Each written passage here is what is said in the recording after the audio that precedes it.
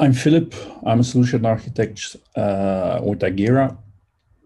Um, feel free to reach out. Um, I also have with me uh, Jane.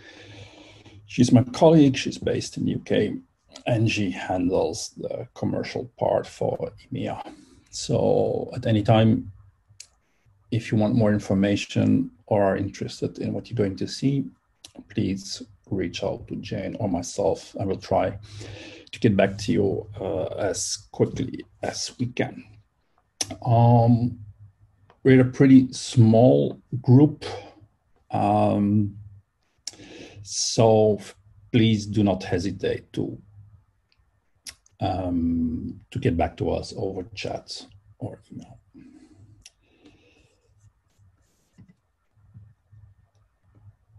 So um, that's a picture of me, nothing fancy. Um, so what are we going to cover today? Um, well, uh, we'll do a small overview about AKS and the networking options, which are uh, of particular interest for for Calico, of course, and that will be the main topic of uh, today. Um, we'll take a look at Calico open source, Calico Enterprise Edition, and how it is deployed on top of uh, Azure AKS. So that's the Azure Kubernetes Service. Um, we'll end with a small demo and some questions if you're interested. Everything we'll see and do, you can fairly easily repeat it. Um, we shared the link over here. Um, so it basically explains how you can reproduce uh, these labs. So what is Project Calico? Uh, Calico is a pretty known name. It's actually a community that is maintaining and developing Calico which is an open source networking plugin for Kubernetes and containers, but also for virtual machines, as well as host-based workloads. So mainly um, Calico is focused on the networking part, of course, as well as the security part, well known as network security policies. So why Calico? Why would we actually try to use Calico inside of AKS. Well, uh, the main advantages of Calico is that it's pretty simple from an architecture point of view, and it's immensely scalable. So Calico is typically used when speed and performance is important it's massively scalable. It's one of the only CNIs that can actually scale up to the limits of Kubernetes, which is pretty important. Um, it's known and used all over the place. All major managed cloud uh, environments have an option to use Calico network policies. Today we'll focus on Azure AKS, but you can do it on AWS, Google, and IBM if uh, interested. We'll have a session later on in the month uh, where we'll do more or less the same on AWS. It's also integrated in most of the, let's say, uh, package solution like Docker Enterprise or Rancher or uh, can be used with OpenShift. Calico is used pretty wide. Uh, we know of more than 150,000 clusters and one more than 1 million of nodes currently using Calico. So um, it's a well-proven, known technology, and that should uh, strengthen the feeling that it is a good choice and a decent choice for your production Kubernetes environments. Also used by one of the largest companies in the world. Uh, a few names, but there are of course more. Now, uh, as I said, um, Calico is used in an industry, is industry wide and an industry standard. Um, so it can be used, as I already mentioned, in most of the managed public clouds as well as on premise. And why I'm repeating myself is simply um, is that once you would opt to use Calico or Calico Enterprise, no matter where your apps live, where you're moving from one cloud to another, well, you can take actually your security along with you. Policies written in Calico can be used as well in AWS as you would move to AKS, for example. Um, another cool advantage is that it's portable, is that Calico Enterprise has the ability to uh, use federated security or to implement federated security. That means that using your policies, you can actually decide where to deploy them, whether your apps are living in a mixed environment. Well, the same policies, same strategy can be used to uh, deploy your policies straight into the right cloud, all from one uh, console. So um, let's focus on AKS for a second um, and Azure um, in, in that matter. So AKS is the Azure Kubernetes Service. It's a managed Kubernetes solution offered by Azure. And it's pretty widely used here in Europe. Um, so let's take a look at the options that we have available. Uh, so when we check out AKS, we'll see that we have quite a few uh, options uh, when we want to deploy an AKS cluster. The default AKS way to deploy, to deploy a cluster is what is known as KubeNet. KubeNet is a CNI, so a container networking interface plugin used by Kubernetes. Uh, that's making sure that your pod IP addresses, your pods get IP addresses and can connect to each other. So the default one or what's often referred to as the basic Kubernetes, uh, sorry, the basic yeah, uh, networking plugin is KubeNet. KubeNet is very, very, very simple. Um, it's pretty easy to use because it's by default, but it lacks uh, quite some functionality that you can find in Calico or in the Azure CNI.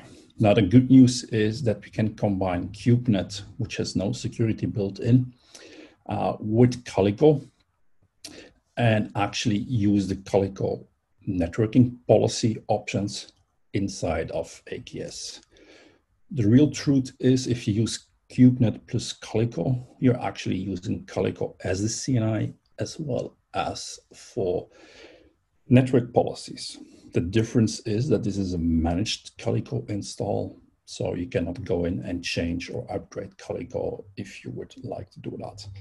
If this is the option, we need to resort to another um, way of doing that. Just know that if we use KubeNet and we select the option Calico network plug as Calico network policies, that we'll be using Calico. Now, as I mentioned, KubeNet is a very simple one. Um, that's probably the reason why there is a more advanced CNI that popped up in AKS uh, later on, which is referred to as Azure CNI. And the Azure CNI looks a bit uh, from a networking perspective to what Calico is doing. Uh, also offers network policies and that's where the main difference is. Um, the network policies offered in uh, Azure CNI are less um, feature rich. So again, we can use Azure CNI together with Calico network policies if we would like to do that to actually have a full featured um, way of doing network security. If none of these needs uh, or none of these things meet your needs, you can also resort into uh, installing actually Calico Pure Play on Linux hosts together with Windows, um, even if you like, and manage the entire environment yourself. So let's take a small look at what KubeNet is doing so that we can actually understand what and how the networking works and what are the pros and cons of that networking. So if you install actually an AKS cluster together, um, like in the basic setup with just uh, networking, this is how it actually works. So what AKS will do for you, it's it will create a bunch of nodes. It's a managed environment, so that would essentially means that the Kubernetes controllers or the Kubernetes masters are actually handled by Azure. And depending on how you set it up and what your specifications are, they will create a few nodes for you, um, referred here as node one and node two. Um, node one and node two are Linux machines um, that are actually uh, connected to a virtual network, a VNet in Azure. VNets can be assigned automatically, or if you would uh, prefer, you can actually manually define which VNets uh, to use if you want to route outside um, that VNet, of course. So as you see, the IP addresses of the Azure networking are in the range by default 10 to, uh, to 40 slash 16. Um, which is a CNI, so a container networking interface, basically uses another range, which is referred to as the pod CIDR. In this case, this is 10244 slash 16. Um, that's the pod CIDR. As you can see uh, on the slide, every node has a subset of that pod CIDR, so slash 24. In this case, node 1 has 10244.0, node 2 has 10244.1 these are actually ranges that are assigned to each node. That's why we referred to host local IPAM. Host local IPAM means that every node is responsible of managing every IP address it actually allocates and removes. So there is no something like IPAM or Calico IPAM or something else that manages the IP addresses inside of the cluster. This is taken care of um, by each node itself. The range is assigned to a node upon node creation. So there is no intelligent mechanism in this case to manage the IP address. It's clean and simple. So there is no real way to change this afterwards neither. Once the pods are brought up, um, they of course get an IP address outside of the pod CIDR block or range that is assigned to the node, and they can start communicating. Now, the pod CIDR network, so 10244 in this case, um, is something totally that something that lives totally inside of Kubernetes and the nodes.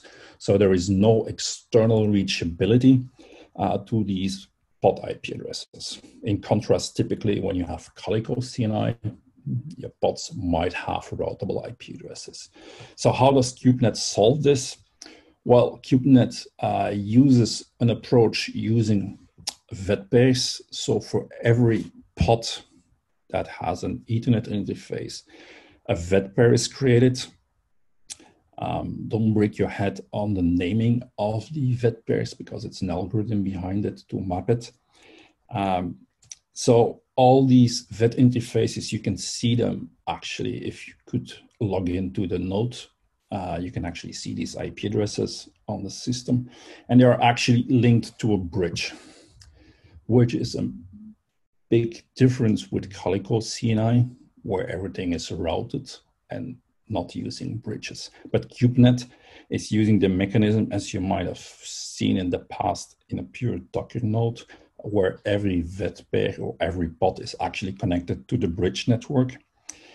And communication between pod A and pod B, uh, in this case, uh, is happening over the bridge network and not uh, routed over the virtual router function of the kernel, which makes it pretty easy from a routing perspective um, because the only thing the host kernel routing needs to know is what range, so in this case 10244, uh, to route to the bridge, or if it is not uh, destined to the bridge network, uh, send it out over ETH0 on the default network. So pretty simple. Now, um, as I already mentioned, the ranges assigned to every node for pod networking are not routable. Um, it's one thing. And second of all, we need to make sure that node one can actually reach node two. So that also means that we need to enable IP forwarding on the interfaces. If you create an AKS cluster automatically, this is done for you. But of course, if you want to play around, you have to take into account that you have to enable IP forwarding. Now, even with IP forwarding enabled, there is no magic that this cluster is learning between each other who owns which IP addresses. That also means that on the Azure networking side, uh, there need to be routing set up. This is referred to as user-defined routes, which basically means that every node or in the VNet subnet, there are routes that are actually saying which ranges are reachable on which nodes in the AKS cluster. That's all cool, but that also means if you want your Kubernetes cluster to connect to, let's say, a simple VM, yeah, that you have to take into account all this routing information to make sure um, it will continue to work. That's also the reason why um, KubeNet applies address translation. So it is not actually sending out 10.244.02, for example, up to the networking layer. There is an option, or not an option, it's uh, they, they choose a solution so that everything that is leaving actually the nodes is address translated. Uh, so it's actually seen as the IP address of the node uh, when it leaves the, uh, the node. So if you know Calico CNI, this is pretty simple uh, from a networking perspective. Now, KubeNet itself, so if you use basic KubeNet with host local IPAM, there is no support for network policies, not even Kubernetes uh, native network policies. So once you select the option to use Calico policies inside of uh, AKS, at that point, um, some changes need to be done. This is referred to as managed Calico um, solution. That essentially means that if you select Calico, um, networking is slightly different, although I must say it's hidden behind the managed uh, idea of Kubernetes. So once you enable network policies by Calico in KubeNet, which is the only solution, by the way, um, everything is routed um, and Calico is taking care of the routing inside of um, nodes. Once outside, exactly the same problem. You still have address translation and so on and so forth. But using this routing approach, um, Calico is capable to insert firewall rules referred to as network policies by Calico. So if you want security network policies inside KubeNet, the only option today is to use uh, Calico for that which is actually a small tick in the box and can fairly easily be uh, configured. Um, I don't know, let me go back quickly. So if you want to actually install KubeNet plus Calico, or you select it in the UI, or you actually specify network plugin KubeNet with network policy Calico. Yeah. Simple as that. Now, if you want to see how everything is routed, well, you can. So this is what is explained here. Now, once we go to a more advanced uh, network solution, uh, we can actually use the Azure CNI, and the Azure CNI is slightly different in that point that Azure CNI removes the need to do address translation. That means that your pods will get an IP address um, assigned out of the VNet on which your AKS cluster is deployed. As you can see, your pods do have IP addresses in the same network as your nodes. That means that your pods are reachable from the outside and that of course you need to make sure that the routing um, is taken care of by AKS. Again, Azure CNI has an option to use Azure network policies. Uh, I checked it out. It's actually native Kubernetes uh, network policies. So that's one option. And to be fairly honest, Calico is not in the play at this moment. Um, but as we already explained in other sessions, we know that Calico uh, can offer more advanced functionality when it comes down to network policies and security. So, of course, there is a way to use Calico policies with Azure um, IPAM. So, at this moment, we're talking about Azure CNI together with Azure IPAM. Azure IPAM refers to the fact how Azure is assigning IP addresses. Actually, these are pod IP addresses are secondary IP addresses on the interface, um, which is totally not how Calico is doing. But you can uh, opt for the Calico policy functionality so that you can use all superb uh, functionality of that part. So in this case, there is no address translation uh, going on um, which can help from a routing perspective and performance perspective if, if necessary. This is not AKS, so if you want fully flavored Calico or Calico Enterprise solution, well, you can always install your own Linux nodes. You can take care of the routing and you can actually install Calico on top of Linux and then you can actually use Calico as you would use it on any other uh, scenario. So this was a very brief um, overview of networking. Um, when you Google around, you will find some more information uh, around it. But just keep in mind that if you need to use KubeNet uh, for one reason or the other, because it's way more efficient from an IP uh, management uh, perspective. Um, you have the option to use uh, Calico network policies. If you can go to Azure CNI, well, you can also do it. So from a networking perspective, security perspective, it stays the same.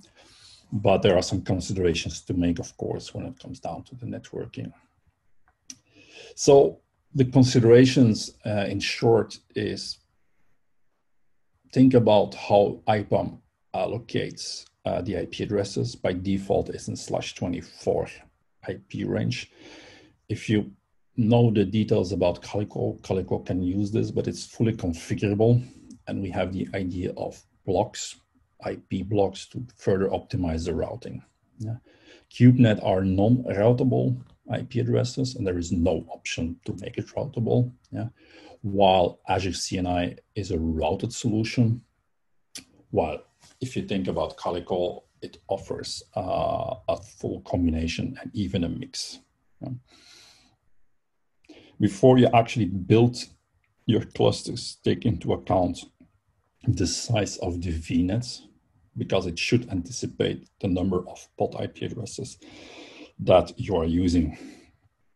Um, and of course, you need to take in mind that if clusters grow, you might run into IP exhaustion um, because of the simple reason that your VNet is defined. So everything should fit in that VNet. And these are things you cannot change after uh, the fact. So think about that. Um, these are things that Calico, uh, when we talk about Calico yeah, takes care of if that's a problem.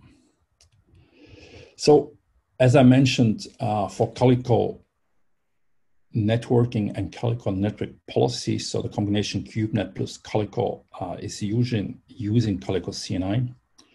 Um, but this is referred to as managed Calico uh, install. That means that Calico is installed and managed by Azure AKS when it is installed. It's you don't have to do anything uh, for that. So that's something to take in mind when we talk about unmanaged. It basically means that um, we can install Calico ourselves. I'll discuss that in the next.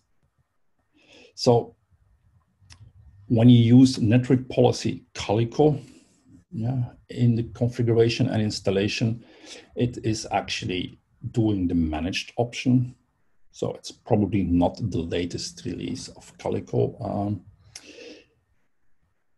AKS and Azure are aware of this problem, or problem, it's not really a problem, uh, but uh, this limitation that customers want to manage themselves Calico. So they introduced pretty lately uh, an option where the network plugin is Azure, Azure CNI, and an option to use transparent networking.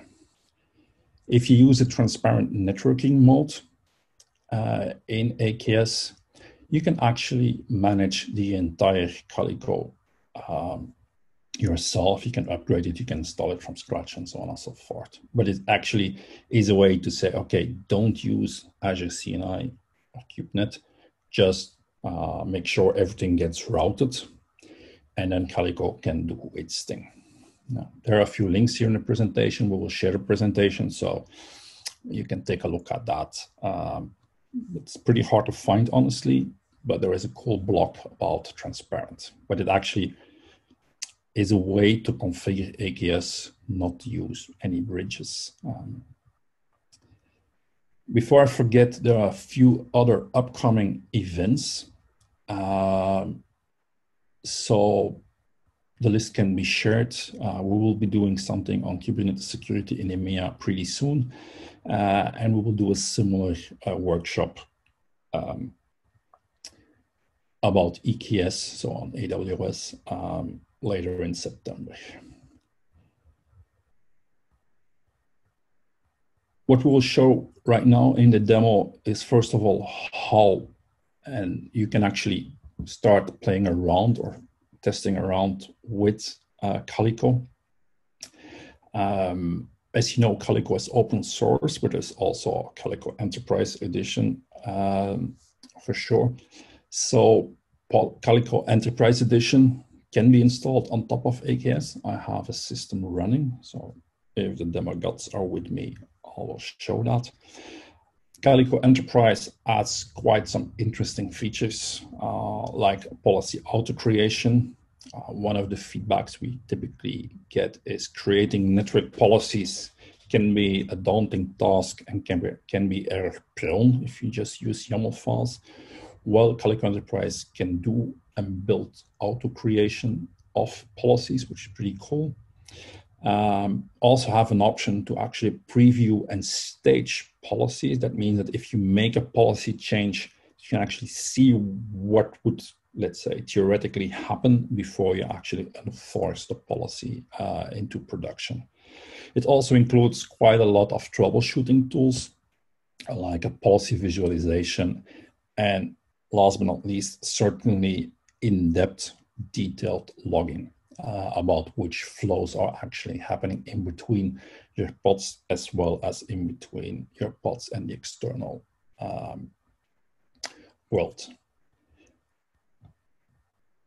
Also, it includes compliance reporting and so on and so forth, so that you can actually see what changed from a security perspective. Did we actually see new endpoints and so on and so forth? So all these are features, uh, and the list is way longer, um, of course, than what I could uh, match on the slide. But feel free to uh, sign up for an enterprise uh, uh, trial. Um, something went wrong, but it's actually tigera.io slash trial. So you can sign up and start playing around with some examples um, on the enterprise edition of Calico. Don't know if there are any questions at this moment.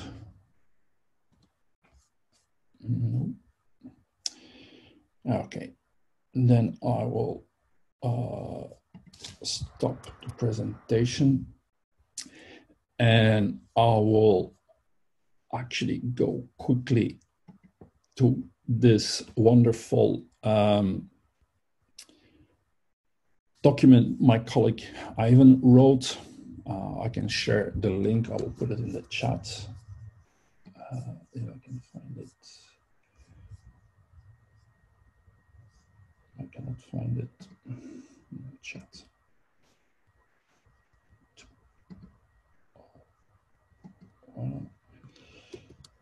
So it should be in the chat. So it actually documents uh, very neatly all the options and how to actually go and configure all this. Now, I used this document to actually prepare for my demos. So it actually explains you how to install KubeNet, KubeNet with Calico, Azure CNI, which is not related, uh, sorry, Azure CNI with Calico, um, and so on and so forth. Um, and below, we actually work on um, how to set all this up. So feel free to take a look at this document. Um, and I'll take my console here and try to move it to uh, here. So um, as every good cooking program, already prepared uh, one setup of AKS because I'm running in some resource issues uh, with the amount of VMs and resources I'm using. But at the end of the day, um, I'll repeat the steps. And if it fails, it's simply because uh, I don't have any resources left. So um, as you can see, uh, I'm using the Azure CLI here uh, to actually uh, see whether my AKS cluster is up and running. So there are two ways to essentially use or install uh, AKS. And one of these ways is through the Azure AKS install command. Yeah. And a more advanced way or a more repeatable way through means of ARM templates, which is essentially Azure Resource Management templates. I tried both uh, solutions. Um, you can use um, the AZ AKS install command to install Calico, um, as we discussed if you want to install uh, the Tigera or the Calico Enterprise Edition, uh, we advise to use um, the template solution, although you can do it with the AKS install.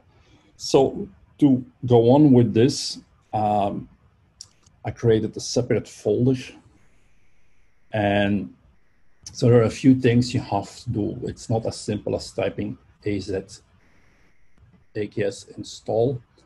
So um, if you really want to do it from scratch, let me see, is hanging. If you really want to do it from scratch, um, there are a few things to do it. So first of all, what you need to do is have the Azure CLI installed. Um, this is the link, but if you search for Azure CLI, you can actually install it. There is an installer for Windows, Mac, and Linux. I just used it on Ubuntu when I used apt-get update and so on and so forth, and it worked out fine. So first things first, we need to get the AZ uh, Let's see, it's at least working. Gives an error message, but it's working. Yeah. So once you have AZ installed, the next step. Hello.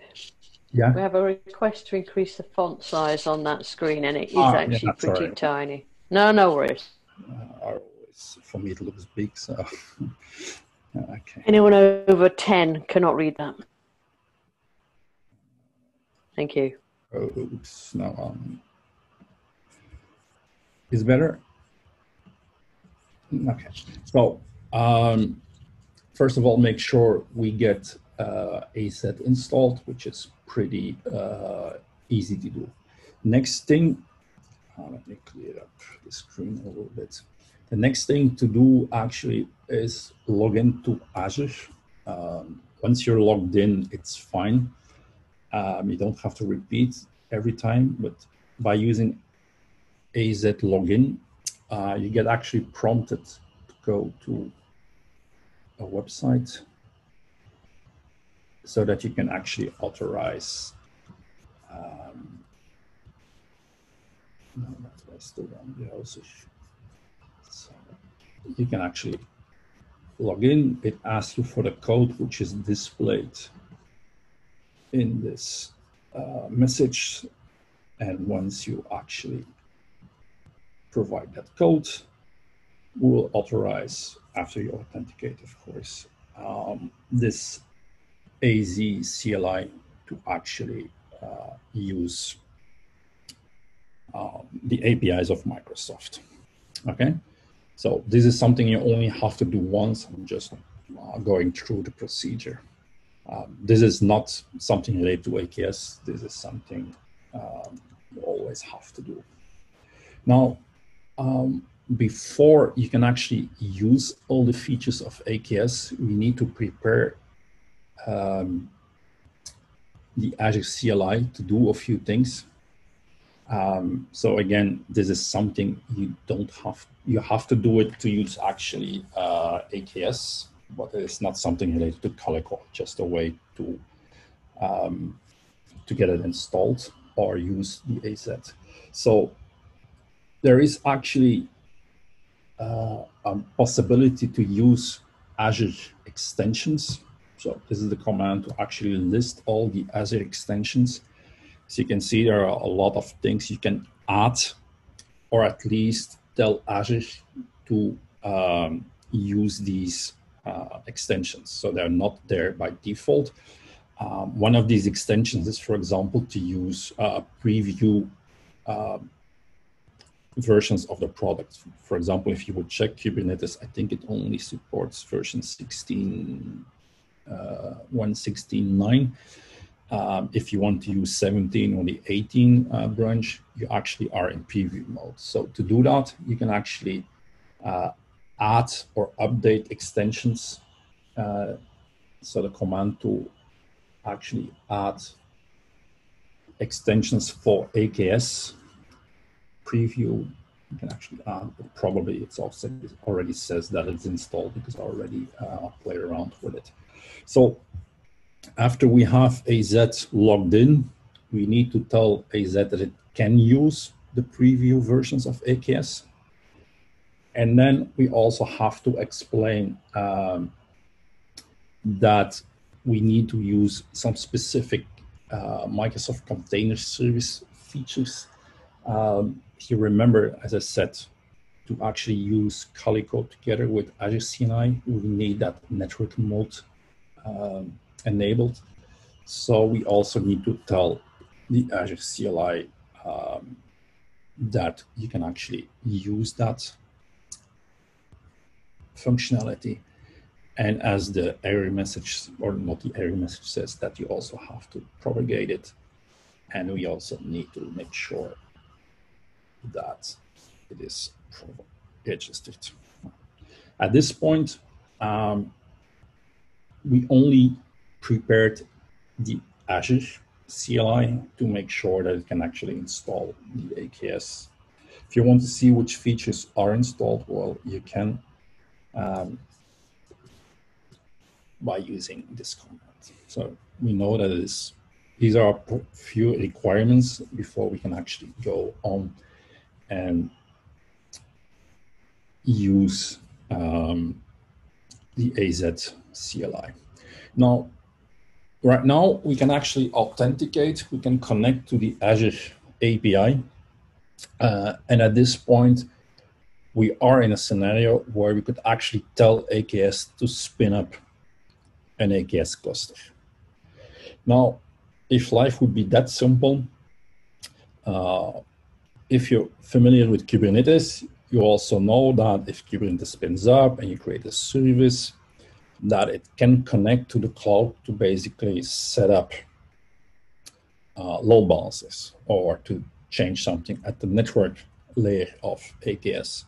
So to make sure our AKS cluster is capable to actually talk uh, to Azure to actually install or configure the load balancer, we also need to make sure that our AKS or Kubernetes cluster, in this case, is capable of authenticating to Azure.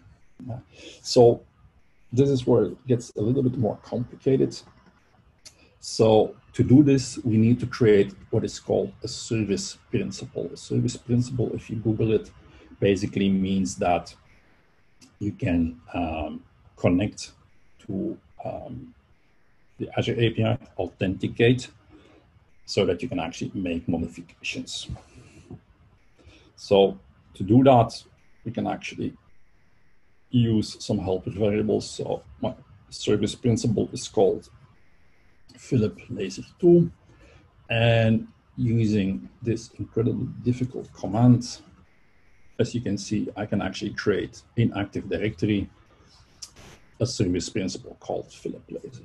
Um, you have to wait about 10, 15 seconds before it's actually propagated, but to verify that it is actually used and available, we can actually use uh, the service principal list command so we can actually see whether our username or service principal is actually created.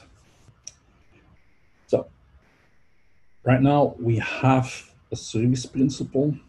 Uh, we still need to define a role. We will do that right away. Um, because at the end of the day, we just have an, let's call it probably technically incorrectly an account. Uh, we still have to assign a role so that it can actually make modifications for the network in AKS.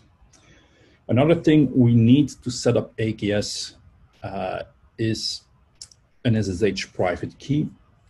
Uh, if you want to log in into um, your Azure Kubernetes nodes.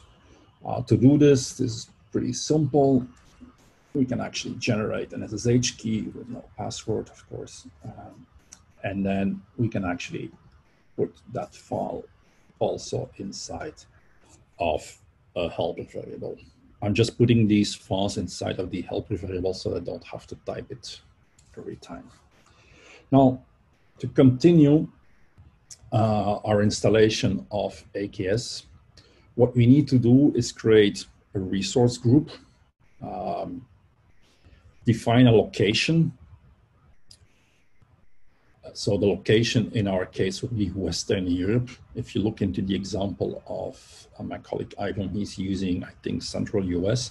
So depending on the region you are and depending on where you want to install it, uh, check out the locations and the availability of the versioning of Kubernetes. So that's the only uh, catch to take care of.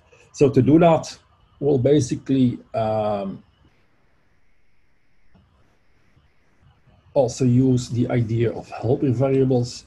So I just create a variable saying that uh, my resource group is called Philip Laser 2, um, because we call this laser sessions. My location will be Western Europe. The account I just created is called uh, Philip Laser 2. And last but not least, I need to actually specify a role uh, for my service account. So I still need to do the mapping. I still need to map the role contributor to the service principal. And I'm going to choose a very cool name for my cluster. So nothing fancy happened. I just created environment variables I will use in the subsequent commands uh, to create everything I need. Okay, so the only thing you have to make sure if everything is set up is that you define a location and that you define actually a cluster name. All the rest is actually something you always have to do in Azure. So, sorry. Uh, to go on, we're going to create, first of all, a resource group. A resource group in Azure is actually, that's, yeah, a group yeah, in which we're going to map all our resources that we create because we need to create VNets, we need to create load balances, we need to create an AKS cluster and so on and so forth. So this is all grouped together. Um, and to continue doing that, um, we need a reference to that resource group. So this command will populate a variable that actually identifies the ID of the region ID I just created. Um, if you actually run this command, you can actually see uh, the ID. So I need that. I also need to have uh, my client ID. So I also need an ID which is referencing uh, the service principal I created. So this is the way to get that. Um, of course, you can actually simply do stuff like this and copy paste it if if you want.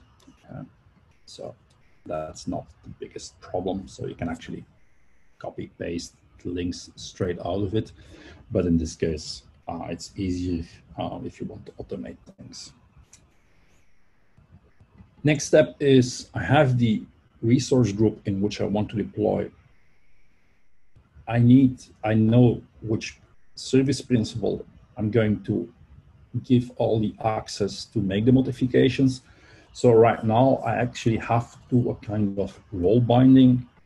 Um, so what I will do right now is actually say, okay, I assign the role contributor to uh, this client, so the service principal in the resource group. Uh, it's a lot of uh, weird JSON and YAML, but at the end of the day, this is how you assign roles to a service principal so that it can actually actually update um, the uh, AKS environment uh, later on. If you're wondering which versions are available, um, there are a bunch of commands. Let's see if, for example, um, you see um, version 17 and so on and so forth uh, are still in preview. That's the reason why we actually asked to use AKS preview when we configured uh, the AZ uh, CLI, otherwise it would not allow it. And you can also uh, see which versions currently are available. Um, this might change between regions. Um, so run the command so that you can see which versions in which location has been um, available. So we installed the Azure CLI, we created the service principal, and we actually mapped it to a role into a resource group. Um, and we created the resource group. Uh, last thing, most important thing, is that we're going to install an AKS cluster or create an AKS cluster. And to do this, as I mentioned, there are two ways of doing this. Uh, one is using the AZ AKS create command. Um, another way to do it is through the use of uh, resource management templates. Um, now, I will run the command. Um, as I said, I have some resource issues. Maybe it will not create it, but um, I used it on the, on the other CLI, so it's created already. So to do this, it's pretty straightforward. Um, when you do this, you actually do create, you actually say in which resource group, a cluster name. So that's something we already defined. Uh, you can specify the versions of Kubernetes to use. You can actually see which service side is to use, Docker bridge addresses, and so on and so forth. So nothing really. You see that we pass the service principal to Kubernetes AKS so that can actually use that service principal to configure uh, the load balancer.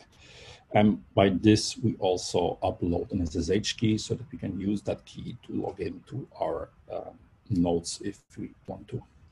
So if we hit enter, um, normally, um, as I said, it will uh, give uh, an error message, but you actually see um, that it will create it, um, but I already created too much um, machines to prepare this. So, but if you issue this command, um, you actually come into the scenario here. So it takes about five to 10 minutes. So don't get too um, impatient. So it takes about five to 10 minutes, I think, uh, before it is actually fully created. It has to create a lot of resources inside of uh, AKS. And once it is done, you can actually see um, what AKS clusters are available um, inside of, um, but like always, takes a while, but it will show you actually uh, that this AKS cluster is available and that you can actually use it. Now, through using the AZ AKS commands, we can actually um, manage our AKS clusters, update, create resources, and so on and so forth. Um, takes longer than I expect. Um, so, um, so once we have that AKS cluster, um, the way we need to connect to our uh, Kubernetes environment is another different game. So uh, to actually use and get our um, Kubernetes config file, we can actually issue a similar command, which is basically get credentials for the resource group or cluster name, makes sense. And we're going to create a kube config file. That's what we typically use to connect to our Kubernetes clusters. Um, or you put it in .kube uh, directory, or you actually export the kube config file through means of a variable. So at this point, we should be able to see our Kubernetes nodes. We should see whether or not we have pods created uh, and so on and so forth you can see these are demo files we actually created. Okay. Um, the other way that you can install AKS clusters is through means, as I mentioned, to ARM templates. So the ARM template is actually a template file um, similar to Terraform if you uh, remember Terraform. It's not the same, but uh, it looks towards the same idea. The main difference here is that you have to template, of course, the configuration. You also have way more uh, configuration settings that you don't have in the UI, in the web UI or through AKS Create. Um, but it essentially starts out with the same um, idea. I need a service principal and I need a resource group. So the steps are similar, but the cool thing is that deploying the cluster is actually one simple repeatable command. Um, we created these files for you. So there are in the repo I shared under here. Um, if you look at the AKS VMS JSON file here, it actually says and shows a lot of things concerning your AKS cluster. So you can actually use that, but if we take a look at it, you'll probably see that it's using the default CIDR values, if not overridden. Yeah, simply as that. So it takes default values, but you can actually overwrite every value uh, that you want. This is a template to create um, machines. If you look at in the parameters JSON file, and this is the only file you actually have to change. So if you want to try this out, you can go to the AKS parameter JSON file. And so you can see there all the values that are actually referenced in the VMS file. So the only thing I did was added the correct version. I put it to 1613. I copied my key in it, yeah, and I populated service principal, secret, and client. So these things are created. So let me see if I can show this. Uh,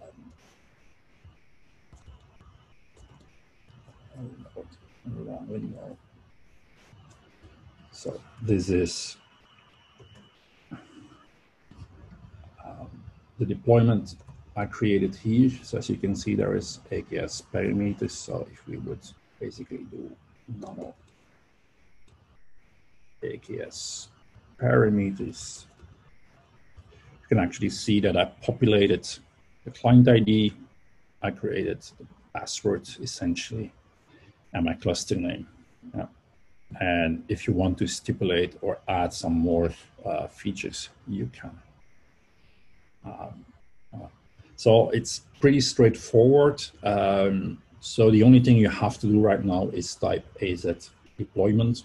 And if you want to get rid of it, you can actually simply uh, delete that uh, cluster. If you want to build it back up, just run the command.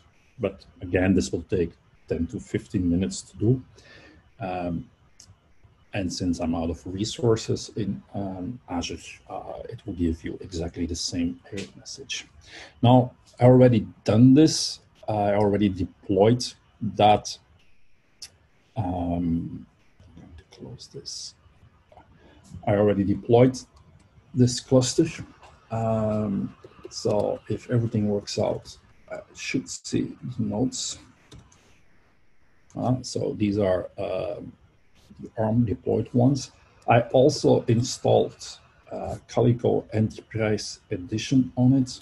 Um, so if I would show you minus A, you would actually see that it actually installed Tigera or Calico Enterprise, as we refer to it, on top of my AKS cluster. And that's what you're actually seeing right here. So once you have Calico Enterprise Edition installed, you have this uh, user interface. It will give you an idea about which policies, uh, endpoints you have in your cluster. So you see all the pods, labels, and so on and so forth. Cool thing is, of course, that you can also visualize the policies um, that are applied to uh, your pods. So for example, we have a pod here, um, a demo policy. So you can actually see that we created a rule that says that this pod in namespace demo with this label yeah, uh, is allowed to connect on port 80. If you prefer the YAML versions, well, you can actually, using the UI, you can download what is uh, the YAML version of it so you can actually see. Let me see. Where is it?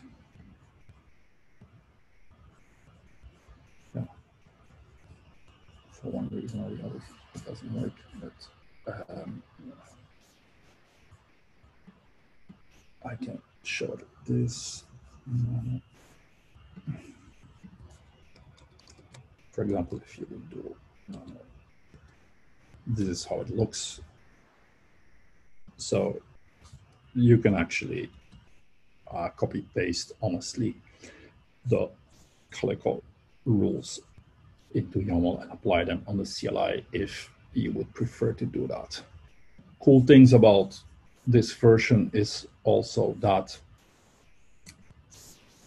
we have tiers, so you can have multiple T's which are controlled with RBAC and so on and so forth. And to conclude this, um, as I mentioned, it might be very difficult to see who's communicating with who. Well, one of the cool things we added is flow visualization. So it allows you to uh, go and check which flows are actually flowing into that AKS cluster. Um, and through means of these colors, which are a lot of colors right now, you can actually go and filter, for example, into the demo, uh, sorry, in the demo namespace. So you can actually see who is communicating to who, and you can actually select a flow. You can actually see which rules are applied, and so on and so forth. All this traffic is also logged inside of uh, this version. So if you click on uh, Kibana, um, which I already did because it takes a while to load, you can also actually go and investigate all the flows and you can actually see in a very, very deep detail uh, who is communicating to who, from which namespace to which namespace, which policies are involved, which policies are blocking, which policies are allowing, and so on and so forth. So um, this is what Calico Enterprise adds on top of it. Um, but most of the features, so let's say the features from network policies and so on and so forth, um, are also available in open source, except some uh, advanced features. This more or less concludes my uh, presentation. I see there is some communication on the chat. Uh, I don't know if there is any.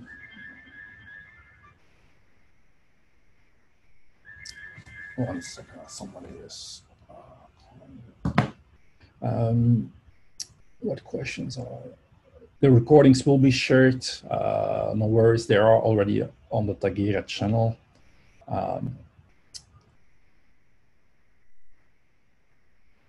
question related to previous clinical session on egress enablement. With that option, can I do avoid firewall altogether to cloud? Yes, um, I, if I understand the question correctly, um, you can integrate um, Calico network policies inside of an external firewall.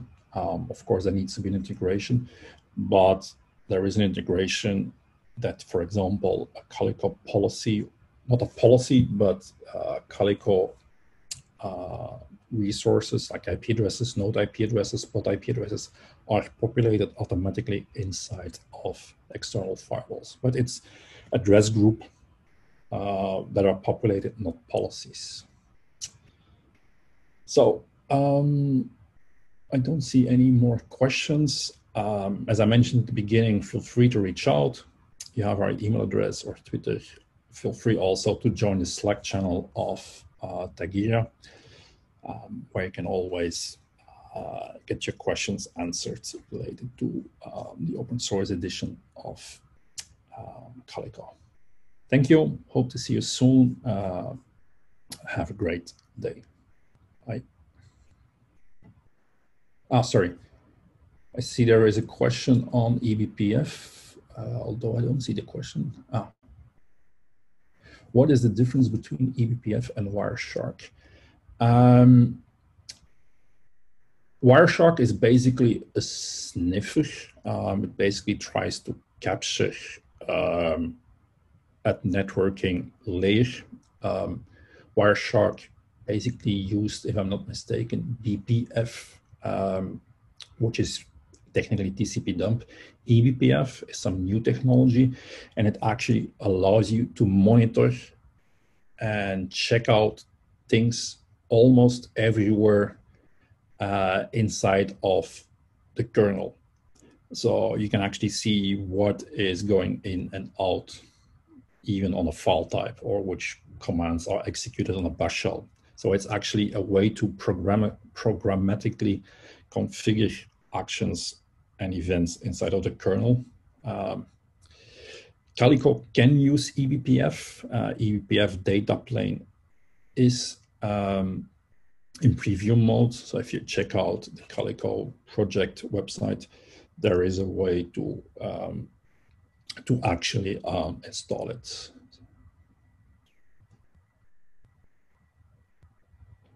Okay, but if you eBPF is pretty new, but it's pretty cool techno. I fully agree. Okay, guys, I thank you. We're think already at top of the hour. Um, if there are any more questions, please uh, reach out and we'll try to answer them as quickly as possible. Thank you.